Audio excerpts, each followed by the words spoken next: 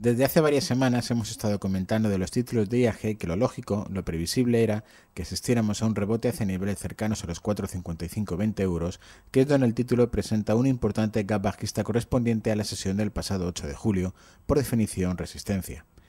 También comentamos que antes presentaba una resistencia intermedia en los aproximadamente 4,38 euros.